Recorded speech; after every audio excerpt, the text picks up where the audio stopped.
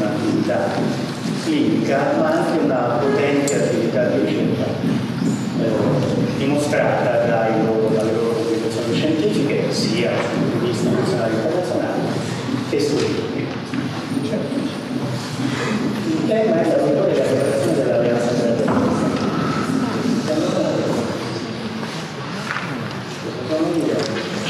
Di che cosa parliamo? Parliamo fondamentalmente sono due libri a cui poi voi potete riferirvi, uno appunto quello è generale di Nicolò, proprio su disturbi gravi di personalità grandi casi complessi, e l'altra è preventiva della danza terapeutica, quindi Otto Monticello. Ma questi due libri sono, a mio avviso, le due parti della stessa unità, cioè si preoccupano del problema del setting e dell'alleanza con pazienti difficili. Cosa fanno fondamentalmente questi pazienti difficili? Uh, pazienti che non sono pazienti, sono per niente pazienti, che non sono alleati della situazione psicoterapeutica. Quando voi dopo aver di questi pazienti, ora dopo vi date da un neurologo, voi dite, Dio mi ascolta, ha capito quello che dico, mi risponde, non mi aggredisce. Cioè una diagnosi al contrario si fa anche eh, confrontando tipi di pazienti il cui fine sembra quello di distruggere la relazione con altri pazienti che sono alleati con voi e con la relazione rispetto a un nemico che è interno a loro. Mentre invece questi pazienti gravi il nemico sembra, sembriamo essere noi psicoterapeuti o qualche volta la, spesso la non è L'altro tipo di pazienti, ma poi sono gli stessi, sono quelli che hanno all'interno della struttura della loro, delle loro relazioni la rottura stessa delle relazioni. Il riassunto dei due libri, se vogliamo. Eh, in un libro si parla soprattutto, visto da fuori, dell'impressione del setting, l'altro libro riguarda da dentro, perché eh, questi pazienti non fanno altro che esportare questa loro conflittualità interna, perché dentro la loro modalità di pensare e di gestire le relazioni c'è una rottura, che quello che noi chiameremo psicodinamicamente il transfer, ma ormai i cicli interpersonali sono concetti che sono eh,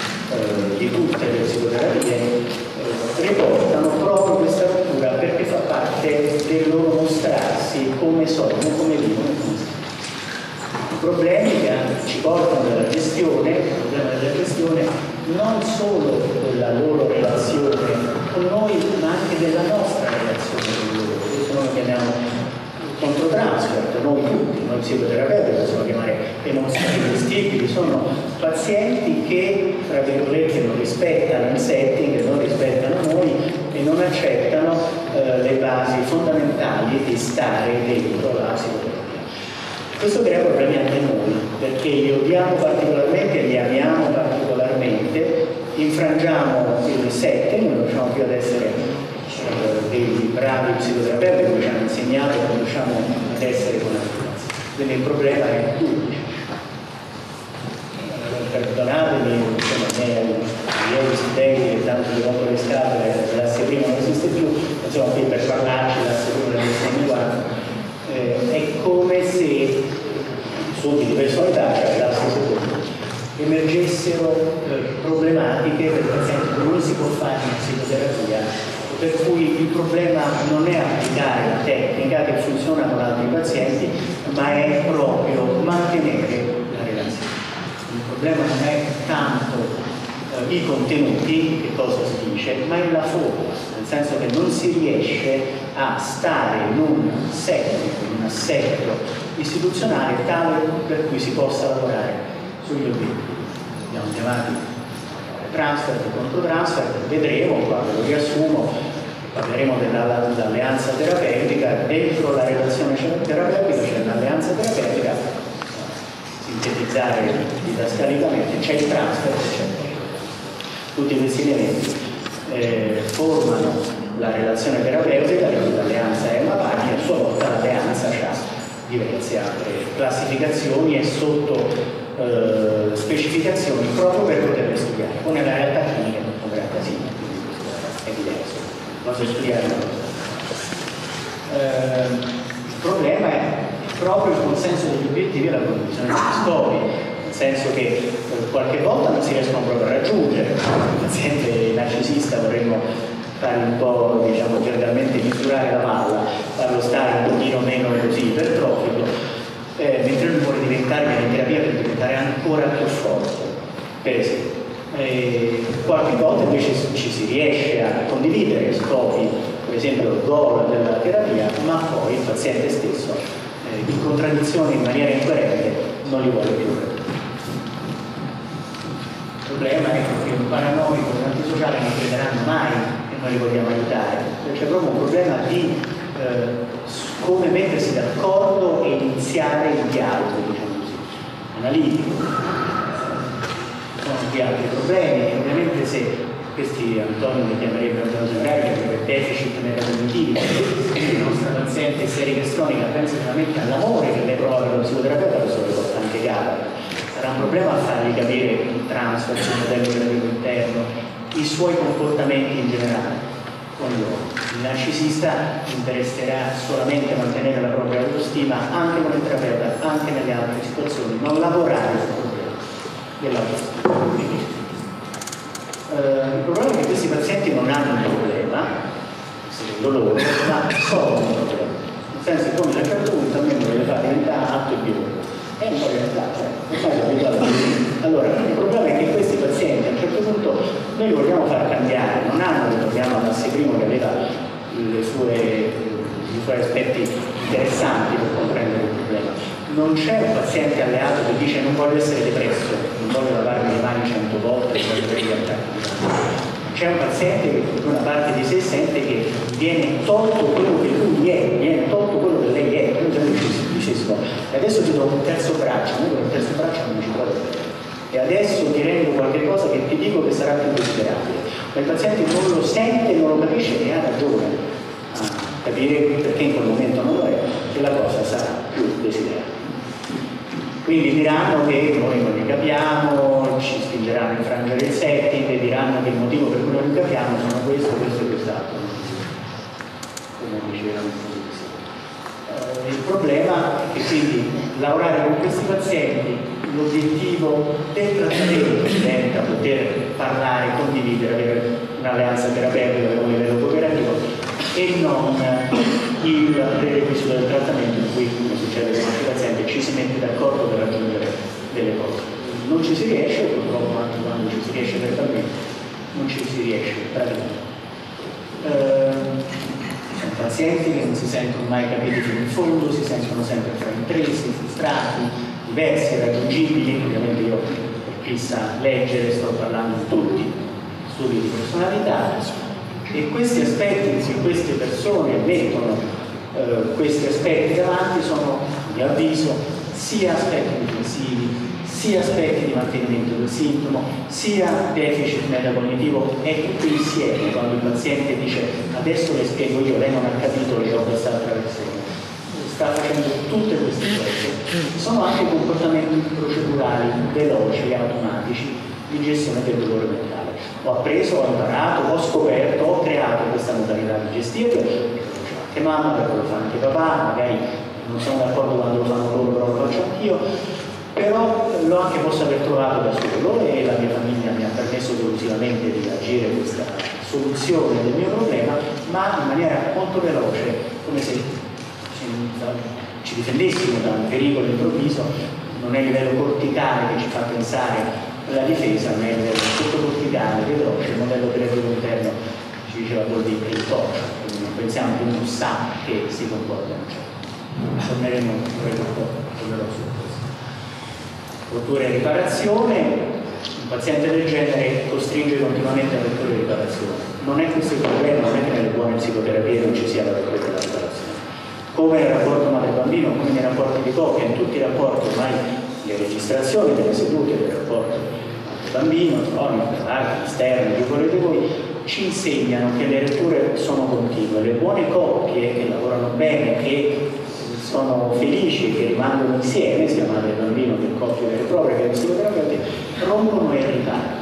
Il grande problema è la rottura e la non riparazione eh, con questi pazienti. Un pochino così di storia per farvi vedere. Ho studiato, vi devo citare Horvath, adesso lo vediamo un pochino eh, velocemente. Eh, qui ripeto quello che ho detto prima, per motivi didattici e di ricerca alleanza terapeutica e relazione terapeutica vengono, vengono divisi, ma li parcellizziamo per studiarli meglio, per fare transfer per caso, per fare questionari. Poi nella relazione è ovvio che una buona relazione terapeutica dipende da un'alleanza. Da un'alleanza. Eh, conclusioni dell'APA, interne, poi lascerò questo, questo lavoro perché dovrò vedere la bibliografia. Eh, ci dice che lo strumento dell'alleanza terapeutica, non è una cosa costrutto, costruita, però è molto efficace e eh, funziona, è importante nel settore. Norcross e Wormwood sono le persone che secondo deve andare a leggere qualche cosa di consiglio. Questo e anche Horvath ovviamente, questa è la definizione dell'alleanza, ci siamo promessi di fare i nostri interventi per il ritardo un pochino più brevi. Saltiamo questa alleanza, un pochino di nomi, di storia, diamo, diamo ragione ai padri, il paziente narcisista per tutte le cose che ha, alta, eh, il regime cognitivo, l'arroganza, c'è pure un'altra cosa, secondo me, non è figlio di nessuno. Nel senso che voi se volete diagnosticare un narcisista, gli chiedete da dove viene, lui dice dove vengo, io so io, non padri non padri perché liberare, no? Dei padri e delle. Allora, qualcuno che non viene da nessuno non gli fidate mai, un altro padre, qualche dubbio Allora, veniamo tutti da, da qualcuno, eh, veniamo dalla Safran e da Mura, nel senso che qualche volta succede qualche giovane che a un punto scopre che ha scoperto delle cose che semplicemente qualche maestro, qualche padre gli ha insegnato, veniamo tutti da Safran e Mura, veniamo anche, mi piace dirlo, qui Merati, spero che tutti accettiamo la vediamo gli occhi, la neonazzi, insomma, ognuno di noi viene da delle storie su cui può portare un contributo personale, ma attenzione a dimenticarci da dove veniamo. Questi sono i più recenti, Norcross e Wombo, e Horvath, proprio scelto nel 2011, cose molto recenti, ho fatto quello che chiedo di fare ai miei studenti, però ricordiamoci che questi hanno iniziato nel 90 primi dei lavori di Antonio Semerani sono del 91 sulla relazione eh, terapeutica.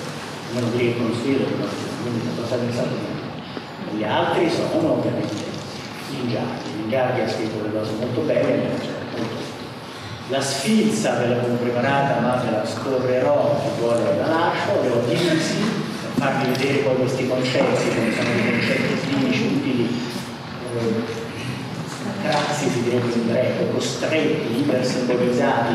Quando lavoriamo, se li vogliamo esplodere il fisico nella ricerca abbiamo Horvath, Gold, Caschi, Bond, le cose su cui lavoriamo quando facciamo la ricerca parcellizzata. Io ho preso i più importanti anche per farvi capire che sono diversi. La Carpas, eh, Lubowski, anche qui con vecchio Lubowski la misurazione del transfer, qui c'è il CCRT e il transfer, io lo operazionalizzo e lo studio nel 77, eh, stiamo parlando di tanti anni. La CIS di Giardi e di suoi collaboratori, eh, questi adesso si sfiora gli strumenti per il transfer, ovviamente Western è importante, il CCRT, abbiamo lavorato la relazione, il transfer, Gil e Hoffman l'82, tanto tempo fa, io l'ho conosciuto grazie a Nick Dazzi, è stato un precursore. Eh, la Benjamin nel 74, pensate voi, quindi se andiamo a studiare. L'ultimo è il controtransfer, l'ultimo sia perché l'ho messo l'ultimo sia perché sono gli studi, molto interessanti. Eh, strumento per studiare bene una buona alleanza terapeutica bisogna fare una buona diagnosi, su grafica e di personalità. Dire che a pazienti più gravi la terapia sarà più difficile, eh, il transfer sarà importante, con determinati pazienti avremo determinati transfer, questo studia, loro avranno noi, ma avremo anche determinati controtransfer, anche questo si può misurare e studiare. Determinati pazienti ci fanno avere determinati punto transfert è molto utile, guardate questo è interessante, sopraffatto di organizzato, impotente inadeguato, immaginate un paziente dall'altra parte che ci fa provare studiando 800 terapeuti in maniera statisticamente significativa fanno provare emozioni. Positivo, speciale il coinvolto, sessualizzato, distaccato, genitoriale protettivo, critico maltrattato, quindi antisociale, borderline, isterica, che fanno provare determinate attenzione, qui abuso un delfino per, per, i miei ragazzi, per i giovani, eh, speciale per più volte non va bene, eh, è sbagliato, no, non buono, speciale per. Eh, buono è positivo, eh, non parliamo degli altri, neanche il genitoriale protettivo. Quindi in realtà bisogna sempre interrogarsi su perché si sta provando un determinato controllo. Ora questi vanno di moda, sono più vecchi, eh, volevo parlarvi un pochino di più del PRQ, che è molto interessante, sono delle ricerche ma. Eh, finisco ovviamente sui cicli interpersonali, eh, c'è, c'è, il paziente, eh, c'è la personalità del terapeuta, c'è la relazione fra Pensiamo solo alla personalità del terapeuta. Intanto alla depressione. Un buon un terapeuta un po' depresso, che tecnicamente vuol dire che introietta di più, che pensa sempre in maniera più frequente che la colpa sia sua, è un buon terapeuta. Il paziente narcisista ad alto funzionamento, funziona bene, non grazie, no? spera che non tutti, non potrebbe fare la psicoterapia, eh, funziona un po' meglio di altri, pensate voi, perché in fondo se ci pensiamo, possiamo del poi per spiegare questi dati, il paziente narcisista e terapeuta, cioè terapeuta paziente narcisista un po' curato, un po' migliorato, che si controlla e che controlla, deve accettare le sfide, deve prendersi questo compito impossibile di aiutare e cambiare un essere umano adulto, non un bambino e manco spe specie specifiche, non del suo gruppo, fa delle cose molto innaturali e un po' pazze. Eh, altri tipi di personalità del paziente, del terapeuta non vanno bene. L'attaccamento sicuro eh, serve in maniera protettiva, nel senso non è che il terapeuta sicuro salva tutto, no, eh, i pazienti gravi non li salva, ma il terapeuta sicuro regge meglio gli attacchi dei pazienti molto gravi. Allora, sto cercando molto brevemente di farvi capire come questa costellazione è molto complessa. L'ultima cosa per, eh, per finire rispetto agli aspetti molto veloci, no? ce ne parleranno bene i relatori, cosa succede nella relazione. Il nostro paziente noi non lo capiamo perché il nostro compito è entrare nel suo mondo, allora lui a un certo punto agisce dei cicli interpersonali che io prima pensavo, no, eh, gli occhiali, non sono degli occhiali, eh, sono dei kata. Quando uno fa, eh, vuole prendere le, le cinture di karate, eh, bianca, arancione, verde, blu, marrone, nera, primo caso, fa dei kata, che sono delle, delle lotte contro un avversario che non esiste. Uno risponde a dei colpi che non gli sono dati. Uh, cioè ta, ta, ta, ta, si difende e colpisce con un avversario che non esiste e gli si danno le culture, ah, bravo, gli si danno gli applausi e funziona bene. Il nostro paziente è un po' così. Il nostro paziente più che mettersi degli occhiali, perché allora insomma è un po' statica, l'idea degli occhiali è buona però è un po' statica è come se facesse dei canali con noi. E noi vediamo delle mosse contro degli avversari. Eh, sto parlando, non sto inventando niente. Sto inventando, spero, poi sono ma non sto inventando niente che non transfer, contro transfer, cicli interpersonali e modelli operativi. I modelli operativi ci insegniamo poi vuol dire operativi che fanno agire, che fanno operare ci spingono ad agire in un certo eh, questi casi purtroppo devono fare due cose. Uno capire che non sono fatti contro di noi ma sono contro dei, dei fantasmi, in senso psicanalitico, delle aggressioni e dei colpi che vengono dati a delle persone che vivono in dobbiamo fare un'altra cosa, dobbiamo immaginare l'avversario contro cui, contro cui sta combattendo. Credo che nel nostro lavoro noi cerchiamo anche di dare eh, una pensabilità, eh, una visibilità, una antidissociazione, una funzione alfa, un eh, conosciuto non pensato, una pensabilità, qualcosa che si è conosciuto ma non si è mentalizzato e verbalizzato. Quindi abbiamo, abbiamo questo compito molto difficile di percepire e capire che quei colpi non sono contro di noi, ma ridare senso e voce alla realtà dei fantasmi e degli avversari contro cui questi pazienti stanno combattendo, ricombattendo con noi, attraverso il combattere dentro termino l'alleanza terapeutica che si infrange. Avrei terminato, però